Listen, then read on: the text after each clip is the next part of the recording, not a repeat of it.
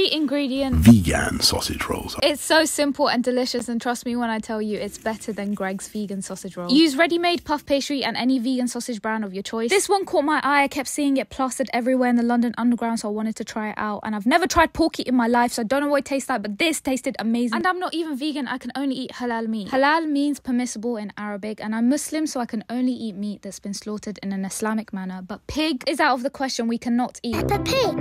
In my opinion, the vegetarian and vegan sausages taste way better than the halal options available in the supermarket. Place the sausages on the pastry like I did. Fold over the pastry and seal with a fork. Cut them however you like. Brush the top with vegetable, sunflower or olive oil. Bake in a preheat oven at 180C for 18 to 20 minutes.